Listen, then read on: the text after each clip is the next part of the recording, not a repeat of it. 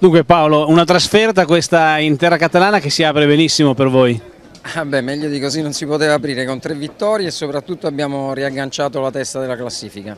Siamo pari a 39 punti con Calero che oggi ha sofferto un pochino, quindi credo che stiamo lavorando bene, stiamo andando nella direzione giusta. Io ero fuori ospite su Iris Essential e ho visto tre regate per la, chi inseguiva molto combattute, voi eravate sempre davanti in controllo, soprattutto nella prima manche, ho visto che vi siete allungati veramente molto bene già durante la bolina.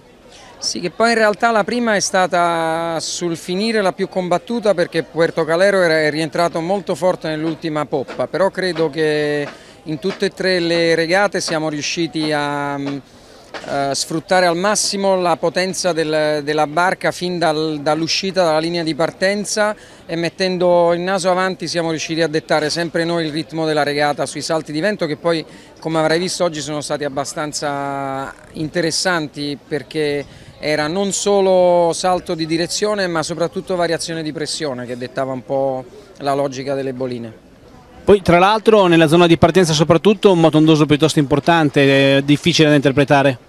Sì, non, non, era semplice, credo che il, 40, il, GP42 comunque si muova abbastanza bene, specialmente nella prima regata con la Oscar, quindi con la possibilità di pompaggio libero, in poppa si riusciva a surfare veramente tutte le onde, quindi molto divertente. Tu sono già diverse stagioni che sei in eh, GP42, insomma una classe, io oggi ero a bordo, l'abbiamo detto, una classe comunque emozionante, perché secondo te si fa così fatica a farla decollare?